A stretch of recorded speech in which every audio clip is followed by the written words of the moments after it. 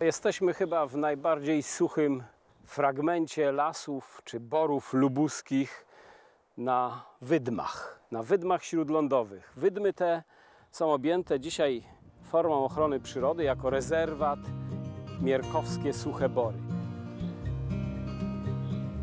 Dookoła tutaj rosną sosny i właściwie nic innego. Tu jest goły, żywy piach, nawet niewiele traw tutaj rośnie, a w takim środowisku radzą sobie sosny. Powykręcane, bardzo niskie, karłowate, przypominające trochę sosnę górską, kosówkę, ale to jest sosna zwyczajna. Jak niesamowicie plastycznym drzewem, potrafiącym przystosować się do różnych warunków środowiska jest sosna zwyczajna. Tutaj rośnie na piachach.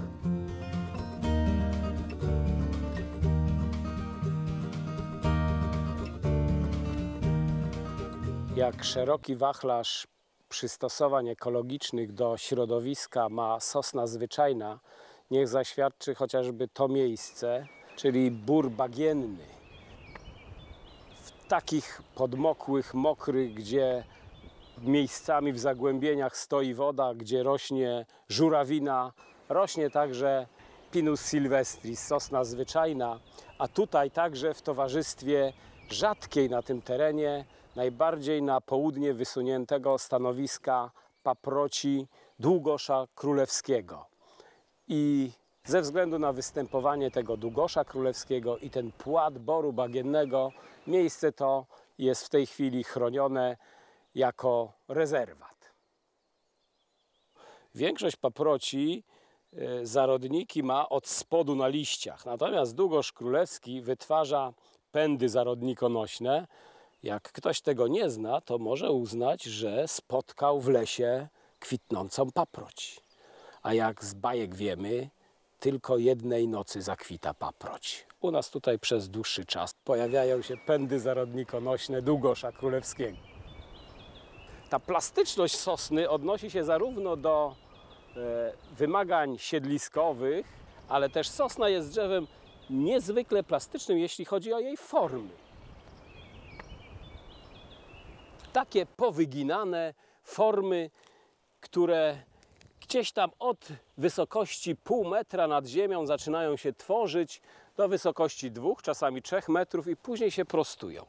Ponieważ las ten, gdzie jesteśmy, powstał przed II wojną światową i nie zachowały się żadne źródła pisane, które by opowiadały co lub kto tak uformował te drzewa. Nie ma też żadnych przekazów ustnych, zatem powstało kilka hipotez.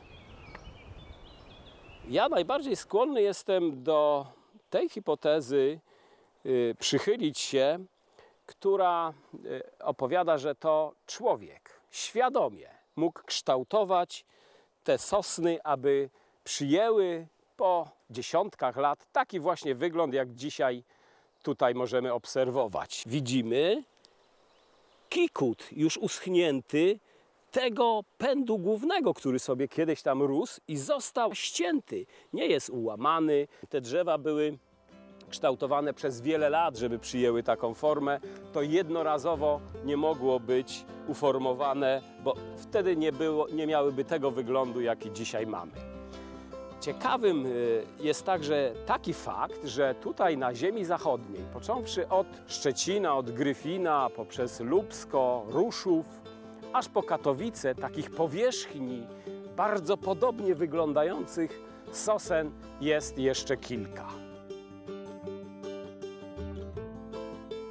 I w tym naszym królestwie sosen teraz y, jesteśmy koło zupełnie niespotykanej, chyba jedynej w swoim rodzaju sosny w Nadleśnictwie Lubsko, która jest pomnikiem przyrody pod nazwą Ośmiornica i rzeczywiście ma osiem potężnych konarów. One mają po pół metra średnicy tutaj na wysokości dwóch metrów, a do tej wysokości tworzą jeden jednolity pień. Ja uważam, że przyczynił się do tego człowiek i ono świadomie, ten twór, że tak brzydko powiem, był tak y, y, hodowany, aby utworzyć po tych ponad 100 latach taką właśnie formę. Myślę zatem, że było posadzonych kilka, może osiem, może więcej pojedynczych drzew bardzo blisko siebie, młodych sosen, które właśnie z czasem, e, z czasem zrosły się i utworzyły u góry taką piękną, rozłożystą koronę y, z poszczególnych już pojedynczych pni.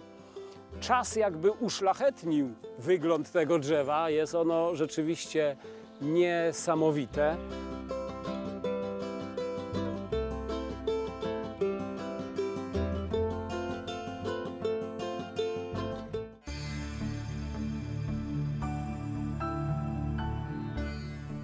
Park Krajobrazowy Puszczy Romińskiej zajmuje się m.in. ochroną bioróżnorodności. Stosujemy bardzo wiele form takiej czynnej ochrony przyrody. Wybieramy te elementy przyrody, które są zagrożone i staramy się wzmocnić gatunki, które mają coraz gorsze warunki bytowania.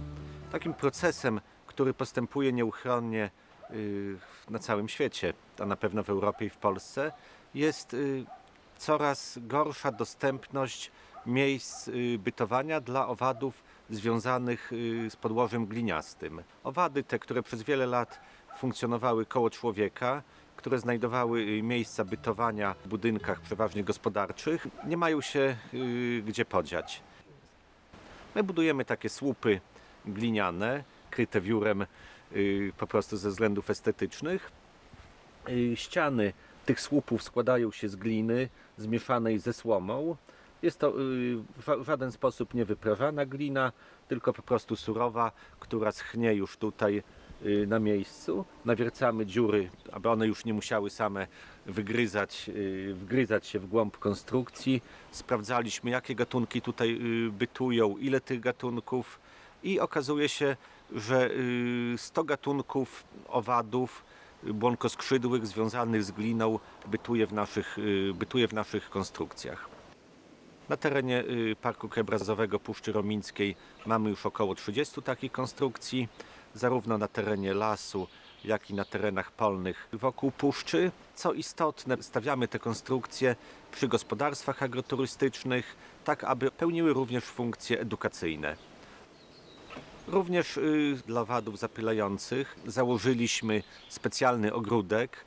Mamy tutaj wiele gatunków y, różnorodnych kwiatów, które zapewniają owadom zapylającym pokarm przez y, większą część sezonu wegetacyjnego. W różnym momencie te kwiaty kwitną, w różnym momencie dojrzewają.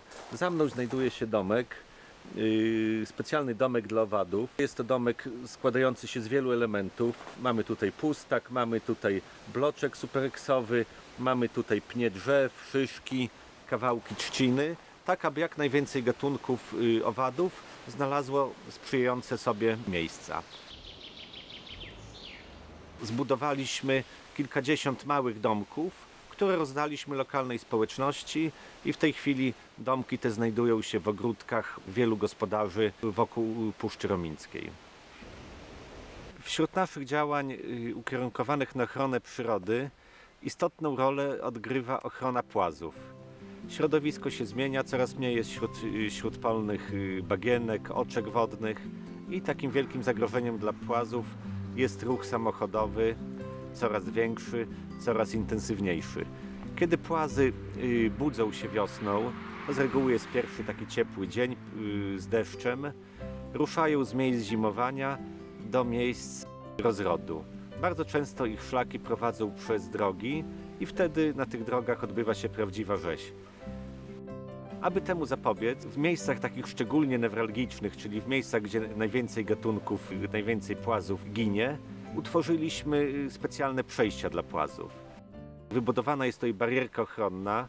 Płazy dochodzą do tej barierki, nie mogą przez nią przejść, nie mogą wejść na drogę, idą wzdłuż barierki, aż dochodzą do takich oto y, przepustów. I później jesienią teoretycznie następuje również migracja z miejsc rozrodu do miejsc zimowania, ale ona już jest mniej intensywna i bardziej rozciągnięta w czasie.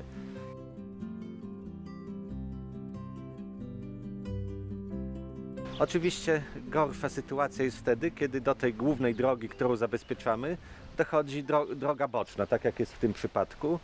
Y, Płazy mogą wejść na tą boczną drogę bez barierek i idąc y, tą boczną drogą żwirową wchodzą na asfalt i tam są rozjeżdżane.